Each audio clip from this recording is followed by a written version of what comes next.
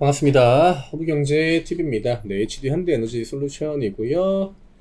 오늘 주가 3% 밀렸는데 어, 뭐 사실 등락률보다는 우리가 한 가격만 보고 있죠. 제가 전날에 그 오후에 이제 그 병원에 갔다가 대기 시간이 너무 길어져가지고 영상을 어제 이제 제가 시간이 모자르다 보니까 어, 그 이사님이 이제 찍어 주셨는데 아, 뭐 어떤 코멘트를 들었는지는 모르겠습니다. 일단은 전날부터 우리는 27,000원. 사실 여기까지, 그러니까 진짜 보수적으로 본다라고 하면은 우리가 처음부터 27,000원. 내려가, 그러니까 맨 처음에 상한가 찍고 다음 candle 만들어질 때부터 27,000원. 아니면은 29,000원, 3만원 라인. 네, 여기에서 지지를 보여주거나 이 가격대를 지키지 못한다라고 하면은 그러면은 중간에 뭐 다른 가격보다 일단 27,000원이라는 가격이 중요하다. 이렇게 좀 코멘트를 드렸죠. 지금 추세만 놓고 보면은 지금 이런 식으로 타고 올라옵니다. 그쵸? 네, 하단 추세에 맞는 구간이기도 했고 27,000원에 대해서 지지를 보여주는 그런 캔들이 만들어지기도 했고요. 또 지금 큰 흐름만 보면은 풍력의 CS 윈드, 태양광의 현해솔입니다. 네, 이두 종목 말고는 딱히 뭔가 주도적으로 먼저 움직임을 가져가는 애들은 없거든요. 지금 CS 윈드를 보면은 네, 이 흐름이에요. 물론 뭐 종목에 따라서 등락폭의 차이나 어떤 추세의 차이나 이런 것들은 있겠지만 그냥 거의 비슷하다라고 하는 거죠. 그러니까 지킬 자리들은 그냥 지켜주고 뭐 딱히 외국인이랑 기관들의 포지션이 뭐 크게 변했다라고 보기도 힘들어요.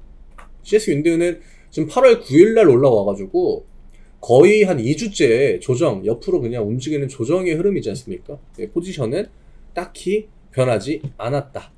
현해솔도 뭔가 주가는 되게 많이 밀린 것 같지만 뭐 연기금 애들이 뭐 했습니까? 네, 투신 애들 여전히 매수량이 더 최근에 기준 보면은 매수량이 더 높죠.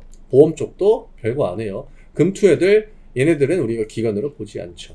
그 다음에 외국인들도 3거래일 동안 차익 실현 좀 나아졌다라고 그냥 볼 수 있는 거죠. 시장도 마침 안 좋았고 또 파월 연설에 대한 부담감도 있고 하다 보니까 차익 실현 나왔고 오늘은 포지션을 좀 돌려주는 그런 흐름들이 만들어졌기 때문에 저는 기존 관점이랑 그냥 똑같이 보시면 될 것 같아요. 그리고 이번 주에 또 전당대회가 이제 끝나지 않았습니까? 오늘 그 전날부터 해가지고 이제 우리나라 시간으로는 이제 오늘이죠. 그래서 전당대회가 끝난 만큼 이거에 대한 또 임팩트가 그 여론조사나 그런 거에 어떻게 또 반영이 되는지 다음 주 되면은 그거에 대한 또 영향력이 보여지겠죠. 여 지금 워낙에 미국 대선은 시선이 많이 쏠리는 진짜 그 가장 큰 지구에서 가장 큰 선거기 때문에 그에 대한 이슈가 좀 만들어진다라고 하면은 충분히 저는 반등은 어렵지 않다. 그리고 우리가 주목해야 되는 건 지난번에 트럼프가 총 맞고 아 이거는 거의 뭐 트럼프가 대통령이 된 마냥 그런 분위기가 만들어졌잖아요. 이때 트럼프 쪽에 어떤 그 수혜를 받는 대형주들 그러니까 외국인과 기관들이 움직이는 그런 종목들도 여기에 반응을 했습니다. 이번에 뭐 트럼프 지지율이 뭐 올라갔다 해가지고 재건 테마 애들 이런 애들 올라갔잖아요. 재건 테마 요거 말고 외국인과 기관들이 움직이는 종목들은 트럼프 쪽으로 다시 이동을 안 했습니다. 네, 그냥 기존의 최근의 그 흐름들이 유지가 되고 있다라고 하는 거죠. 이런 것들이 중요해요. 결국 이런 대형주들은 우리가 보는 혹은 뭐 뉴스에 뭐 어떻게 지금 트럼프 지지율이 뭐뭐몇 프로 더 높고 이랬다 해가지고 주가가 갑자기 막 팍팍팍 이렇게 움직이지 않거든요.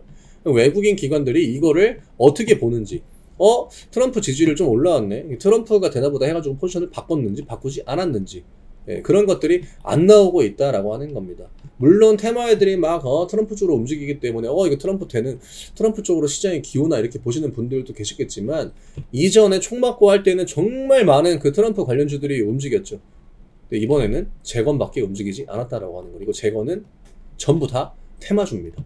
외국인과 기관들이 움직이는 종목들이 아니다라고 하는 거죠.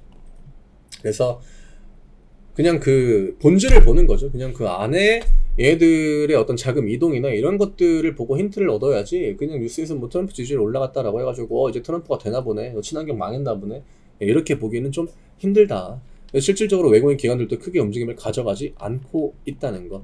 이 상한가 candle 나온 게 중요한 거지 뒷권에 조정 나온 거에 뭐 많은 의미가 담긴 candle은 없었거든요.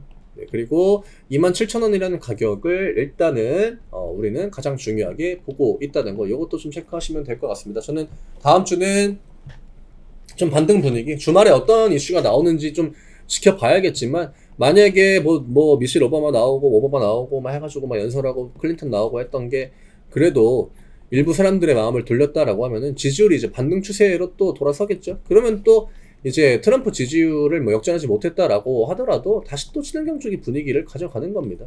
네, 이 정도로 오늘 좀 정리해드리면 될 것 같아요. 저희 텔레그램 아직 입장 안 하신 분들 어, 벌써 또 지금 구독자 수가 3,000명이 되어 갑니다. 이게 보시면은 저희가 장중에 진짜 딱 핵심적인 부분들 위주로 코멘트를 드리거든요. 그리고 뭐 다 올라온다라고 해가지고 다 코멘트 드리는 게 아니라 올라와도 아 이런 것들은 조금 주의해야 된다 그런 부분들도 명확하게 코멘트 드리고 있습니다. 이런 거 참고하시면은 장중에 도움 진짜 많이 되죠. 눈으로 볼 때는 똑같이 10몇 프로, 20% 올라오고 하지만 어 그 움직임에 대해서 저희가 또 코멘트를 즉각 즉각 드리기 때문에 이것만 참고하셔도 어, 투자하시는 데는 굉장히 또 어, 편리함 가져가실 수 있겠죠. 중요한 것들 위주로만 코멘트 드립니다. 우리가 계속적으로 봐야 되고 일정이 어, 지금 이런 이런 일정들이 있기 때문에 어, 이런 애들이 지금 주가가 움직이면은 우리가 기대감을 뭐 더 올려봐도 된다 이런 코멘트도 드리고 그리고 또 저희가 이제 무료 또 드리는 주도주 체험도 이쪽에 신청서를 올려 드리니까 들어오시면은 뭐 이것저것 전부 다 어, 도움을 받으실 수 있겠죠. 더보기 누르시고 텔레그램 링크 누르시면은 바로 입장 가능합니다. 어떤 자, 그 자격, 뭐 요건 이런 게 있는 것도 아니고 그냥 다 들어오시면 됩니다. 저는 월요일 날 다시 또 인사드리도록 하겠습니다. 감사합니다.